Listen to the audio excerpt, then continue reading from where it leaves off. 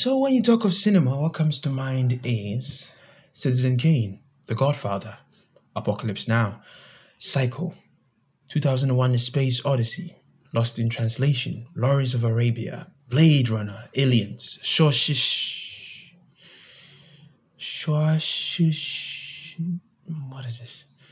Shawshish. E.T., Star Wars, Pan's Labyrinth, 12 Angry Men, Top Gun, the Mission Impossible stuff, the James Bond stuff, the Marvel Pantheon, and yes, of course, Marvel stuff is cinema. Who said it wasn't? Park film, for example, uh, the Marvel type pictures, where, where the theaters become amusement parks. That's a different experience, and it's like it's not even. It's I was saying earlier, it's not cinema; it's something else. Oh, you white people and your criteria. Anyways, you get the point. Western stuff, even as Africans, is ingrained in us. I don't know if that should be a good thing, considering most Africans wouldn't patronize African made films unless it meets the Hollywood standard. And that's difficult to pull off when far too many African countries like my own has no filmmaking structure, no filmmaking machine to keep churning out those enchanting illusions of light and shadow.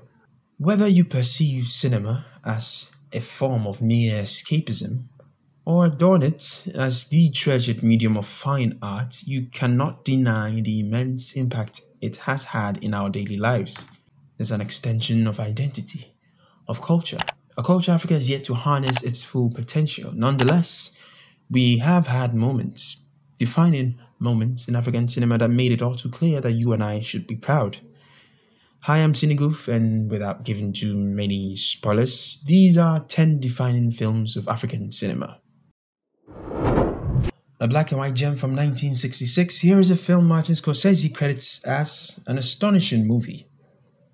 This film was the alpha of it all, making director Ousmane Sembène one of the most powerful voices of African cinema. j'ai pris conscience que le cinéma facilitait la prise de conscience, parce que le cinéma c'est un meeting permanent avec le public. Dans une salle de cinéma, vous avez catholiques, musulmans, gaullistes, communiste et tout ça, quand le film est bon, chacun perçoit et accepte ce qu'il veut. C'est ça qui m'a amené au cinéma pour mieux poursuivre ma, ma quête de militantisme. Black Girl is the story of a young woman, Gomis Diouana, played by Mbissine Diop, who moves to France, tricked into domestic servitude by a smug French couple. Enfin, nous voici arrivés. Boy, did this film have a voice. And it wasn't subtle either. It made such a fuss that it gained international acclaim for its depiction of the African experience with the neo-colonialism struggle, the obvious institutionalized class dominance, and just plain old racism. As a film enthusiast, my misconceptions about the post-independence era were corrected in one sitting. And this is something we as young Africans are rarely exposed to in terms of our films. Films like these are benchmarks in history that should never be forgotten. Black Girl is a very great starter for folks trying to get into African cinema. It's relishing, short, and to the point.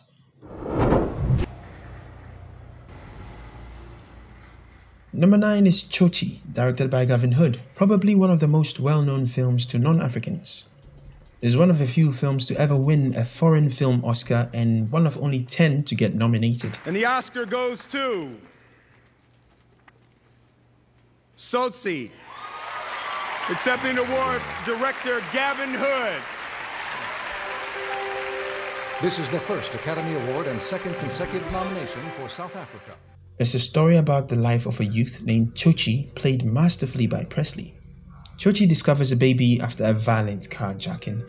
The baby then becomes a catalyst for his personal transformation. Now we all know South Africa pulls no punches when it comes to cinematic prowess. Africa is no stranger to prolific creations like Five Fingers of Marseille, a film about colonialism, and one of my favorites, District 9. Tsotsi depicts the South African experience in a masterful way, blending realism with a touch of magic. It's a great liftoff into South African cinema and my pick for number 9. Number 8 is Cairo Station, directed by Youssef Chahine. It's a delightful black and white work of art and with a keen eye you'll find its inspirations drawn from European cinema. It's a reminiscent of Rome Open City and the Battle of Algiers. Cairo Station tells of a handicapped newspaper peddler who becomes obsessed with a woman who shows him some kindness. Like numerous films from the past, Cairo Station hasn't really aged well when it comes to the matter of gender politics. Despite that, it's an urgent and lovely film and my pick for number 8. 20 years. 20 fruitless years we've wasted on this war. This one is a big one. Lion of the Desert, directed by Mustafa Akkad from Syria. This is perhaps one of the most expensive films on this list. A budget of $35 million from the coffers of the then dictator Muammar Gaddafi. This film helms talents like composer Maurice Jarre and cinematographer Freddie Young of the award-winning Lawrence of Arabia.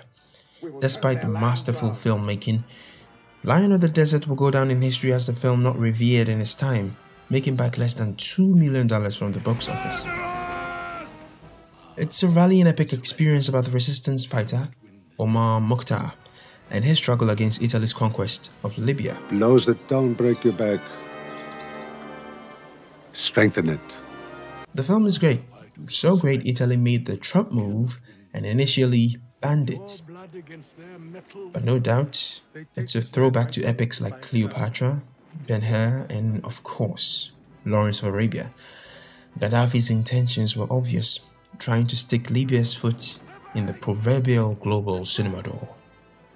It's packed with spectacular action sequences and by far the most ambitious African film ever made, and my pick for number 7. A favorite of the 1987 Cannes Film Festival, my number 6 is Yeelen. It was directed by one of the best African filmmakers, Souleymane Cissé.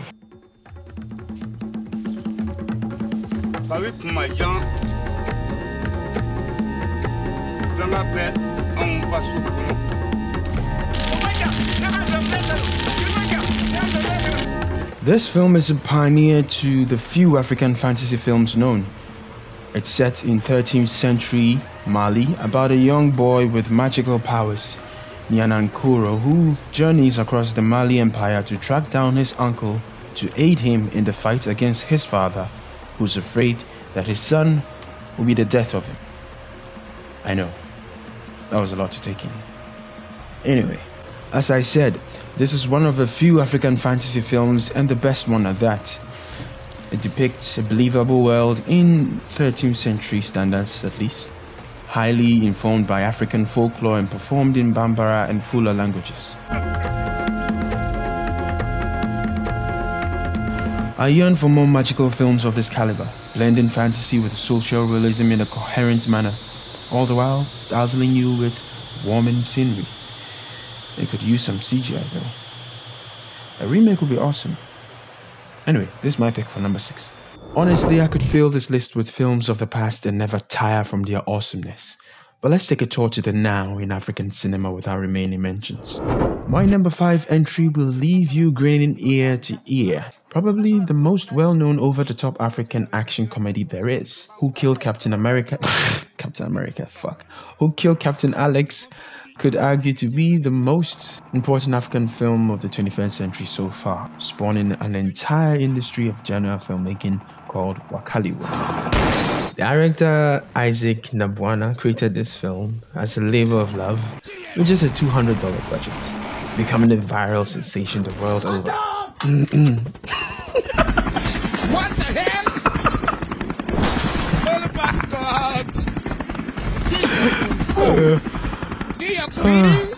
New York City. yeah. Um, what was I?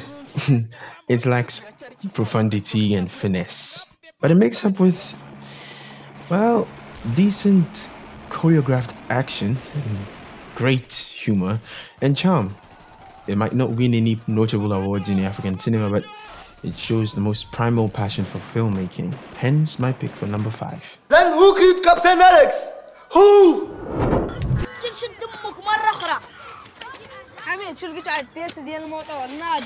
Number four is Horses of God, based on the book The Stars of Sidi Moumen.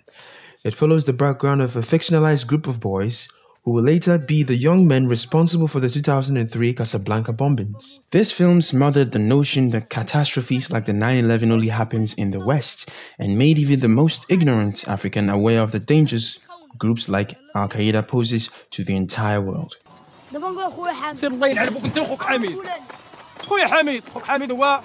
Much like its original source, Horses of God doesn't try to make a case for the terrorist acts or thread a logical reason for them, but rather tackles the issue of weaponized religion and challenges the definition of manhood and brotherhood as a tool that can be used to influence people low on their luck.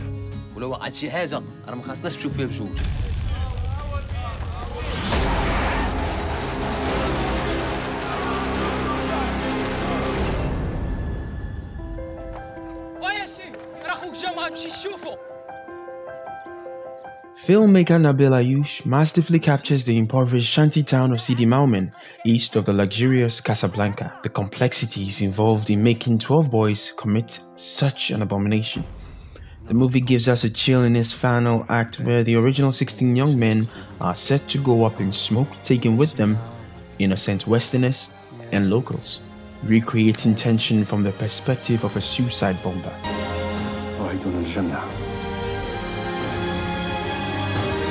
I'd rate this above Sicarios highway scene, but That's nice, eh? Nice background with the people there. this here is E.T. of the slums of Joburg from the filmmaker and wunderkind of South Africa, Neil Blomkamp. A spaceship arrives and hovers over Johannesburg. Inside are starving aliens, also called prawns because of their appearance.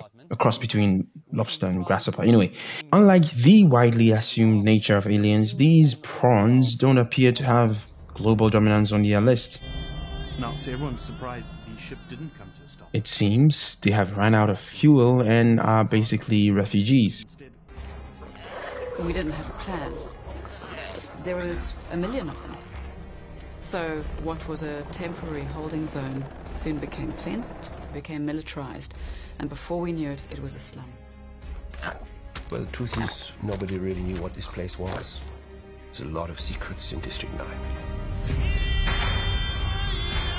This science fiction fable adopts a mockumentary style but with a very serious tone besides the insanely quirky plots. There are unmistakable parallels to the history of South Africa and the now defunct apartheid system. First time you come in, there'll always be a little bit of tension happening between us. Yeah, sure. Hey, hey, footsack there, you can't eat that, man. The prawn likes to eat the rubber. It's sort of like a marshmallow. No, no, no, no, don't prod him. Don't prod him like that. Don't prod him. Kiss, kiss.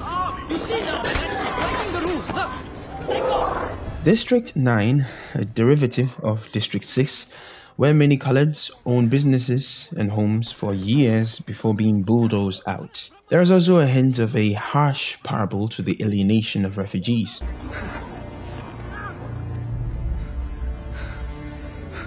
The third act is a mess of standard shoot 'em ups, but it makes this list because it's heavily reliant on CGI. The tool Africa is slow to adapt, but here it's blended beautifully, showing that Africans too, although most of them were white, can make their alien movies.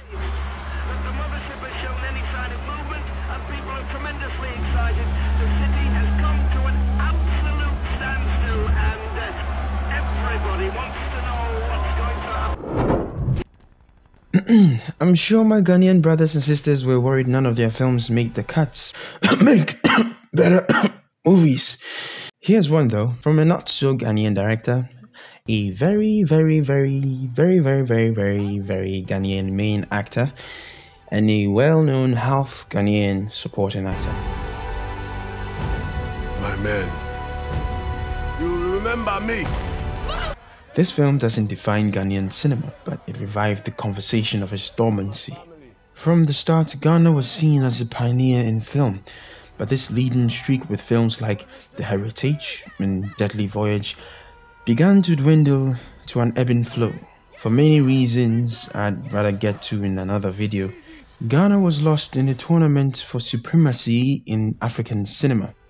But this quickened hearts and minds with its simplicity, impeccable pacing, instinctive performances, immersive and emotional plots and themes, and of course, international praise, as well as all the deserved accolades. The only reason it stays at number two is because it depicts Africa in the tired old barbaric trope, the dehumanization of children forced to commit atrocities, something that we are quite frankly fed up of seeing. But it gives a varying perspective that the rest haven't. We made it to number one with a profound film for the times, Rafiki, from Wanuri Kahiu. We're gonna be something real. Yes, something real. Rafiki, and no, not the Lion King one.